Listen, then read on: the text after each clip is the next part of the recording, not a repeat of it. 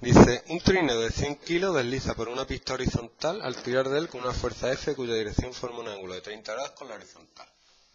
Aquí, el movimiento horizontal y lo que forma 30 grados es el ángulo de la fuerza.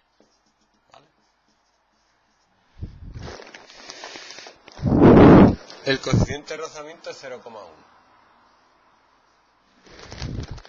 Dibuja en esquema toda la fuerza.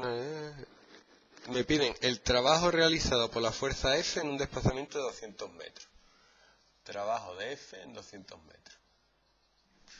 Entonces yo lo que voy a hacer es descomponer la F, Fx, Fi, la P, la N y la fuerza de rozamiento. Y voy a calcular la aceleración. Que no me la piden, pero a lo mejor luego sí me hace falta.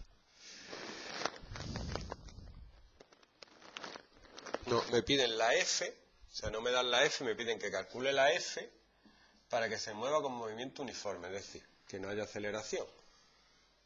¿Vale? Que la velocidad sea constante, o nada.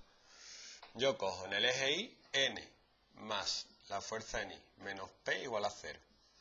Y en el eje X, f de X menos la fuerza de rozamiento igual a 0. Ahora, n, la normal, la normal va a ser el peso menos la F. O sea que va a ser, no me dan la masa. ¿Qué hago? Ah, sí, sí, de 100 kilos, que no lo he puesto. La masa es 100 por 9,8.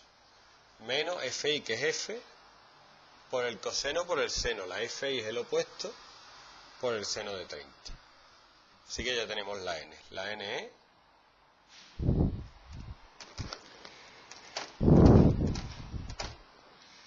980 menos f por el seno de 30 que es 0,5.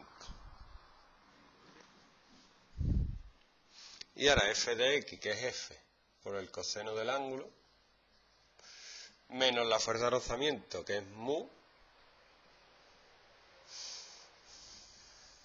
por n, que es 980 menos 0,5f tiene que ser igual a 0, ¿vale? Coseno de 30 es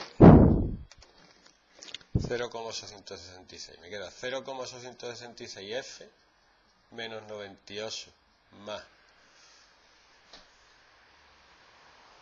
0,05f igual a 0. Y me queda que 0,96 más 0,05 me queda que 0,916f es igual a 98.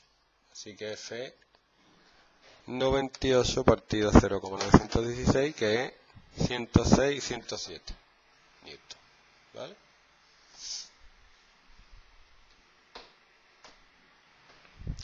Y ahora me piden el trabajo realizado por la fuerza F en un desplazamiento de 200 metros. Vamos a ver.